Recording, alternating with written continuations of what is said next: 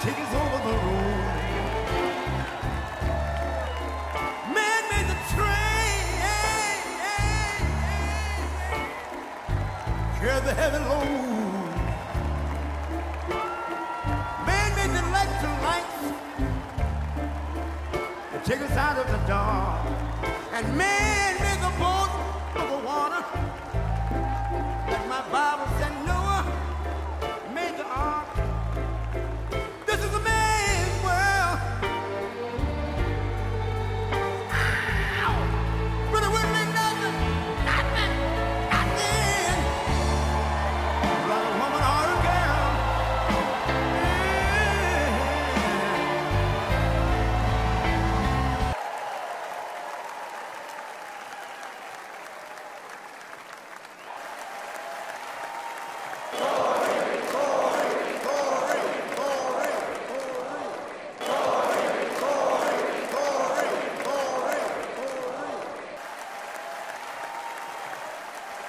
My father came under literal fire as an incredible patriotic rally turned into a tragedy.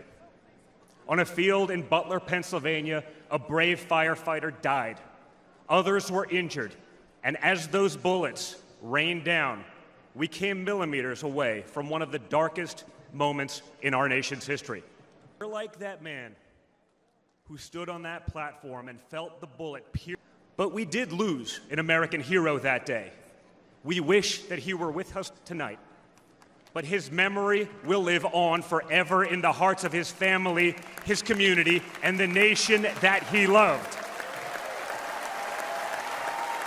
This November, we have a choice.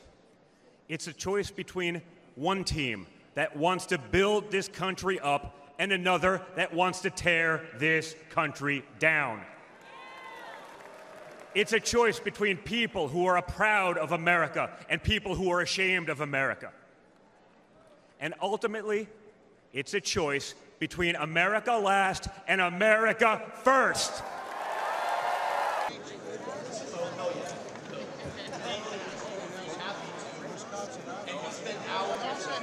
You know how long he spent? He spent six hours with it. And at the start of the dinner, he promised them this. When he gets back at the White House,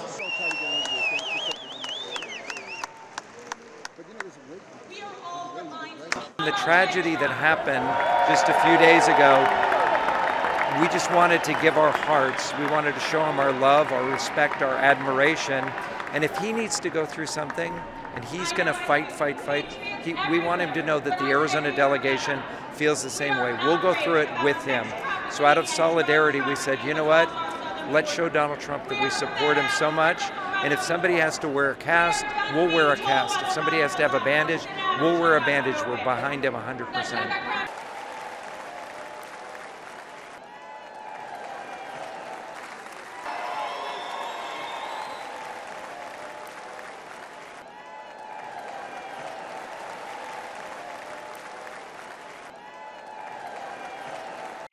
And how about the choice President Trump made for a running mate? JD looks like a young Abraham Lincoln, but he's from Ohio, like General Grant.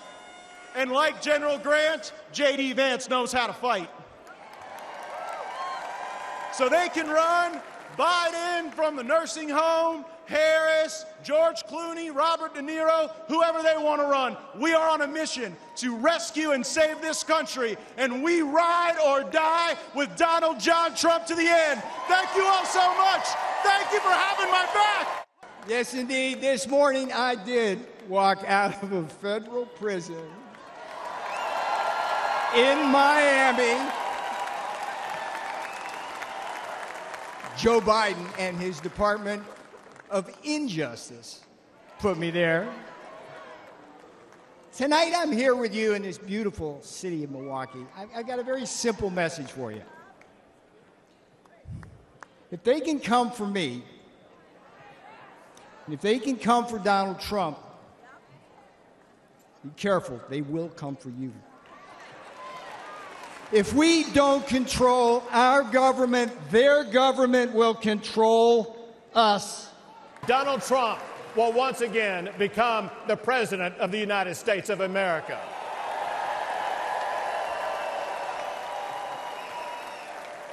He will enforce the immigration laws. He will fight the Mexican drug cartels. And he will arrest the criminal illegal immigrants and put them behind bars. Or send them back